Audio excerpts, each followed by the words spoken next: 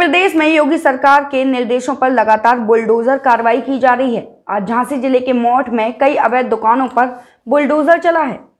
पिछली सरकारों की लापरवाही और प्रशासन की अनदेखी व भ्रष्टाचारी की वजह से सरकारी जमीनों पर जगह जगह निर्माण हो चुके हैं।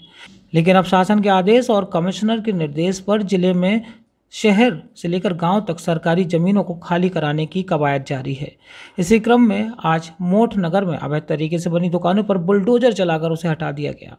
दरअसल यह वही मोठ के चौपड़ा तालाब के पास की ज़मीन है, जिसको लेकर वर्तमान विधायक जवाहर राजपूत लगातार कार्रवाई की बात करते नज़र आ रहे हैं।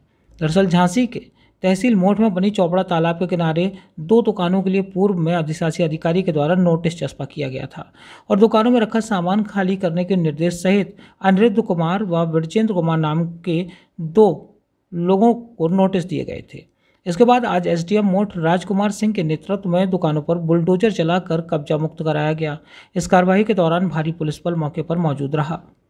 यहाँ पर ये ज़मीन का विवाद चल रहा था। माननीय न्यायालय ने एक आदेश किया था जिसमें ईओ साहब ने उसका निस्तार किया और ये सुरक्षित भूमि थी उस पर ये दुकानें बनी हुई थी उसी को तुड़वाने के लिए ये कार्रवाई की कितनी दुकानों पर सर कार्रवाई दुकानें करी जा रही हैं और सिर्फ़ दुकानों का परीक्षण किया जा रहा है मोठ से यशपाल सिंह की report PK University. Build a great career at PK University. Admission open for medical science, B Pharma, M Pharma, BSc, BTech, MTech, and Polytechnic Diploma. Contact now www.pkuniversity.edu.in. Address Thandra Village, Jhansi Road, Shivpuri.